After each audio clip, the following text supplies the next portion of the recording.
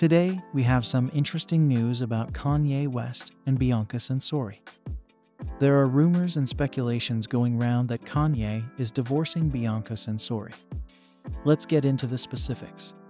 Amid rumors that he is divorcing Bianca Censori, Kanye West is reportedly traveling to Russia for a controversial performance.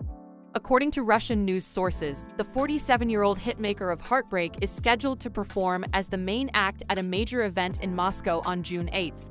Reports claims that Kanye had a deal with the event organizers to perform in Luzhniki Stadium in the Russian city. However, the allegations were quickly struck down when stadium representatives denied that the concert was happening. Although Kanye has not commented on the rumors about his upcoming trip to Russia, his supporters have expressed their disdain openly. A fan made jokes about where the rapper might go next. How long you think it is before he goes to North Korea? SMH unnecessary risks. This will further damage his image and alienate further average fans.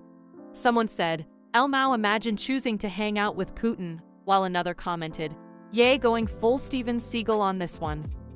The rapper's situation is not looking good as it has also been widely speculated that he and his wife Bianca are getting a divorce. The couple, who wed in December 2022, barely weeks after Kanye's divorce from Kim Kardashian was granted, couldn't be spotted over the weekend as a moving company loaded up Bianca's Porsche from his Los Angeles residence.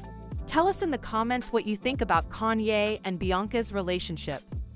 Don't forget to like the video and subscribe to the channel for more updates on what's happening with your favorite stars.